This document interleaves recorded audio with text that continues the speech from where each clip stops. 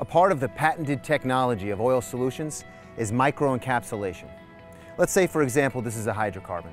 It could be heating oil, crude oil, gasoline, jet fuel, uh, drilling condensate, and you have a pooling spill on a hard surface or on water, and you want to remediate it on site.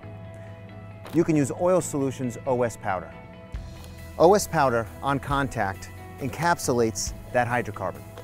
It'll never again release that hydrocarbon back into the environment. It becomes an all-natural, non-toxic, non-hazardous, EPA, Class C landfill safe end product.